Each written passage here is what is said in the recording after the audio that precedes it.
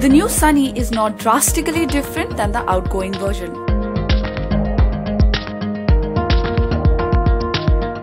Of course, a lot has been done in terms of style changes, but instantly, even a non-enthusiast can make out that this is a Sunny that has paid a visit to the beauty parlor.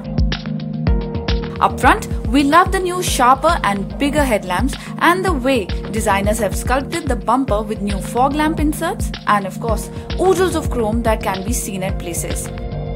Nissan says the Sunny is the most chromed car in the segment.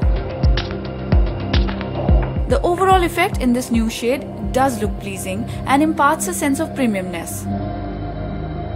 Something that the company wanted to achieve.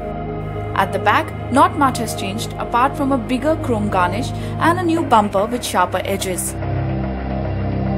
You also notice the rear parking camera and sensors. Side profile remains intact except for new wheel caps for the lower versions and Y-shaped alloys for the higher versions. On a personal note, the diamond cut design seen on the Terreno alloys would have looked fantastic here.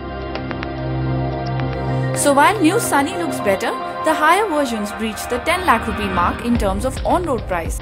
And at this price point, cars like the new City and the Verna look more appealing.